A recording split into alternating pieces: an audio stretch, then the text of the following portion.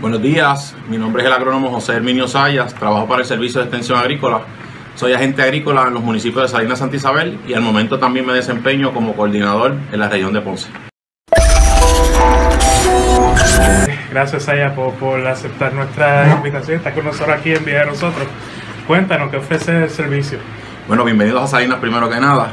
Eh, acá en el Servicio de Extensión Agrícola eh, somos parte del recinto universitario de Mayagüez, trabajamos para la Universidad de Puerto Rico eh, y tenemos diferentes servicios. En, la oficina de extensión tenemos dos extensionistas. se encuentra con nosotros la economista o educadora en ciencia de la familia y consumidor y el agente agrícola.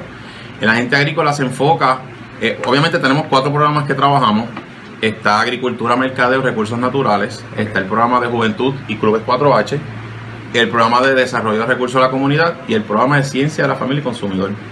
Eh, nos dividimos los cuatro programas entre los dos extensionistas. Eh, en el programa de Agricultura visitamos, obviamente, agricultores, eh, específicamente visitamos los agricultores pequeños que están en desarrollo, pero también visitamos los agricultores grandes. le damos cursos, le damos talleres, conferencias, relacionados a todos eh, los cultivos, por ejemplo, eh, acá en el sur específicamente sembramos mucha hortaliza y muchos farináceos. Sabes que tenemos la compañía Gallulo que se identifica especialmente por sembrar tomate.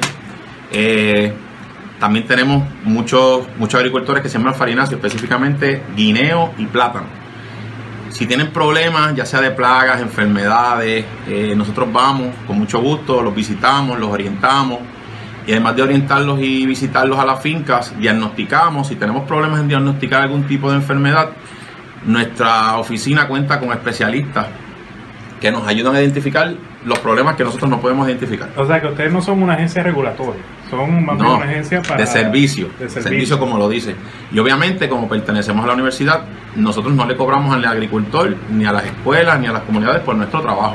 Al contrario, ya la universidad nos paga por ese trabajo. Hay muchos agricultores que quizás no lo saben y esto es, bueno para fomentarlo, ¿verdad?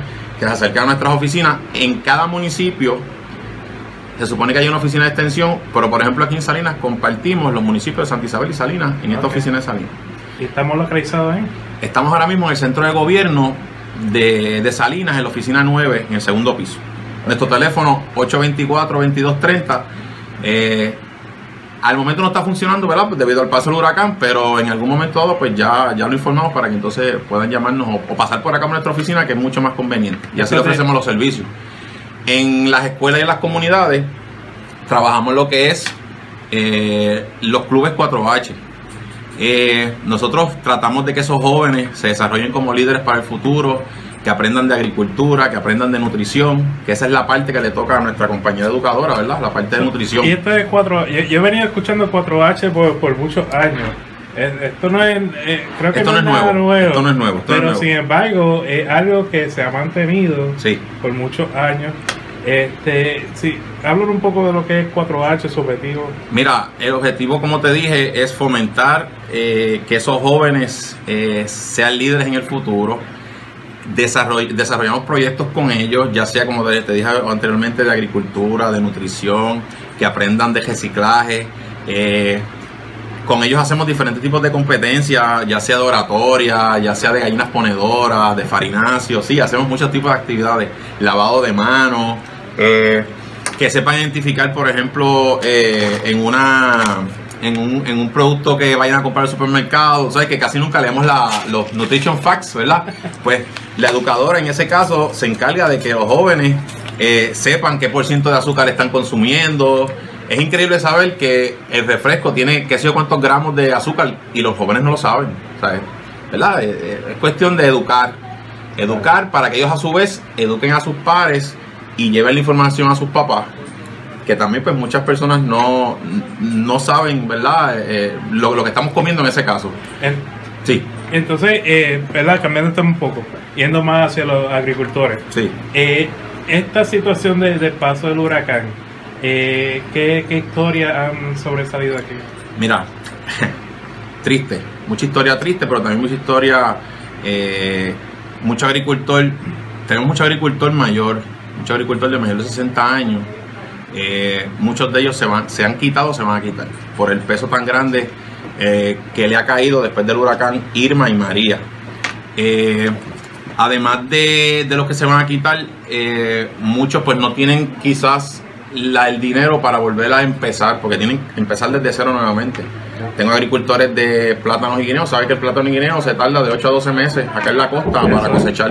Me, he puesto duro en el tema. ya, pues ya sabrás. Ya tú sabes que pues muchos tenían sus sus plantas o paridas o a punto de parir, perdieron todo. Los pocos que están todavía trabajando son los que las plantas estaban pequeñas. Que están debajo de la tierra. Que están debajo de la tierra, exacto. Y entonces, o que han secundado. Secundado es, por ejemplo, que la planta estaba ya grande, se le cayó la planta, cortamos y que sembramos. Le va a tardar un poco más, pero no se han quitado. El problema del huracán, se nos fue la luz. Si no hay luz, no hay agua, porque acá abajo se es todo por bombeo. Eso es uno de los problemas mayores que tenemos. Eh, las estructuras donde teníamos almacenados los, abonos y los, plaguicidas, mojados, se dañó, tenemos que disponer de ellos. Los abonos y los plaguicidas son caros. Y pues se le ha hecho un poco difícil. Entonces, eh, agricultor que no está viendo, eh, ¿verdad? Todavía está struggling, por decir, con esto del cielo de huracán. ¿Cómo el servicio hoy en día puede ayudarle? Mira, nosotros estamos eh, ofreciéndole, como te dije, los cursos. Nosotros estuvimos trabajando de lleno con la comunidad y con los agricultores, visitando las fincas, tomándole los datos para que puedan reclamar el seguro. Eh, pero más que eso, eh, estuvimos sin agua nosotros también sin luz, pero entonces le preparamos las propuestas, le preparamos las propuestas para que ellos puedan llevarlas al Departamento de Agricultura, ya sea estatal o federal, para que entonces puedan reponer sus pérdidas de alguna forma.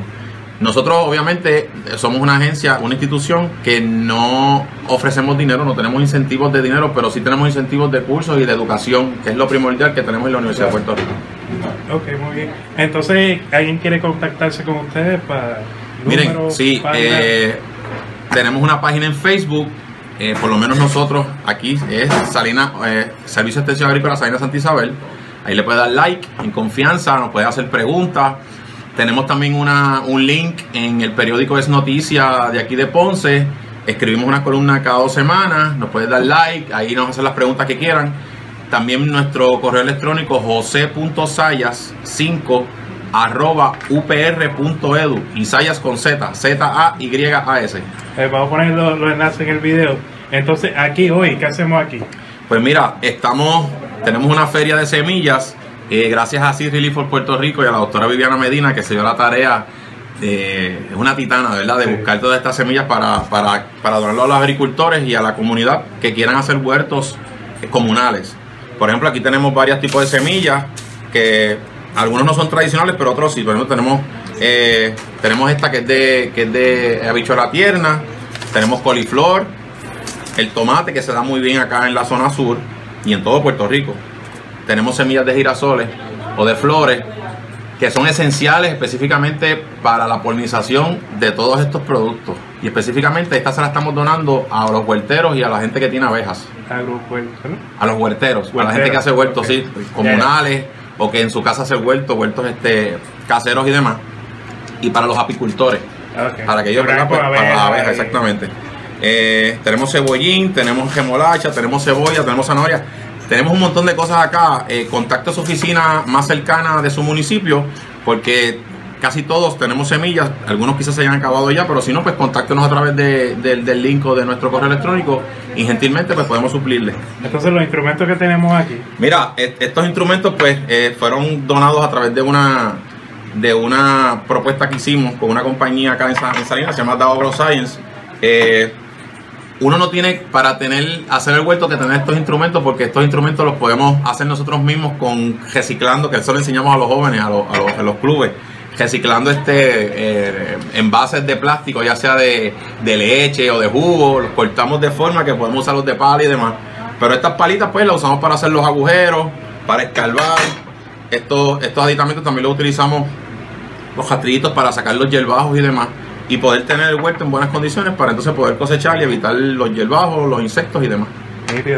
Pues gracias por aceptar nuestra invitación y por recibirnos aquí en Servicio de Extensión Agrícola en Salinas.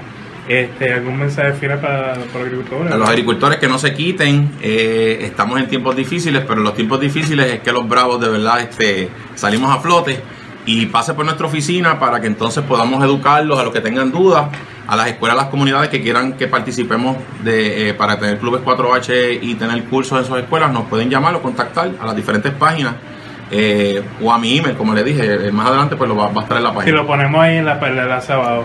Pues gracias, Saya, por tu tiempo. A ustedes. Buen día.